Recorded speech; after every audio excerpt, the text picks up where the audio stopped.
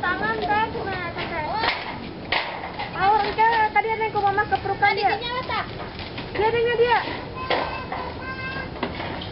Ada dia. Tangannya di situ aja tuh.